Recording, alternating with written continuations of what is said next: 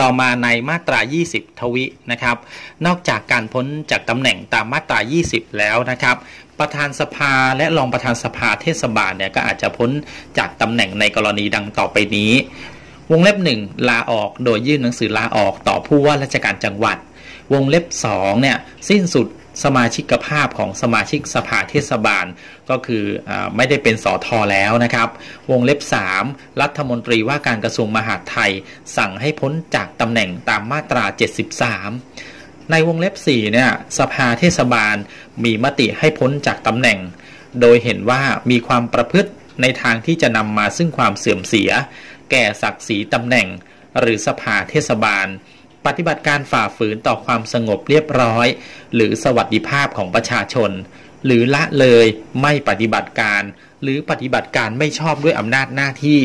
โดยมีจำนวนสมาชิกสภาเทศบาลไม่น้อยกว่า 1 ใน 3 ของจำนวนสมาชิกสภาเทศบาลทั้งหมด เท่าที่มีอยู่เนี่ยเข้าชื่อเสนอให้สภาเทศบาลพิจารณา และมติดังกล่าวเนี่ยนะครับจะต้องมีคะแนนเสียง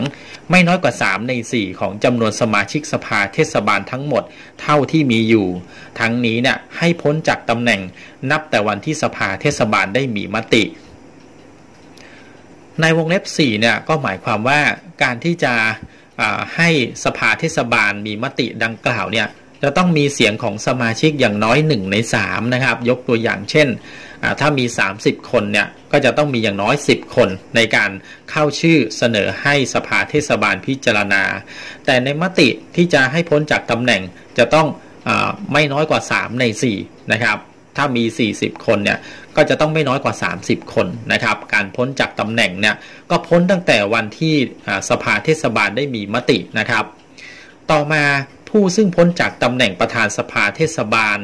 รองประธานสภาเทศบาลตามวงเล็บ 3 หรือวงเล็บ4นะครับจะดำรงตำแหน่งประธานสภาหรือรองประธานสภาเทศบาลอีก ไม่ได้ตลอดอายุของสภาเทศบาลนะครับ เพราะฉะนั้นเนี่ยถ้าในกรณีเว็บ 3 ก็คือรัฐมนตรีสั่งให้พ้นจากตำแหน่งวงเล็บ4เนี่ย ในเรื่องของการประพฤติในทางที่จะนำมาซึ่งความเสื่อมเสียแก่ศักดิ์ศรีหรือตำแหน่งของสภาเทศบาลตรงนี้เนี่ยถ้าออกจากตำแหน่งไปแล้วเนี่ยกลับมาสมัครมาเป็นประธานสภาเทศบาลอีกไม่ได้นะครับ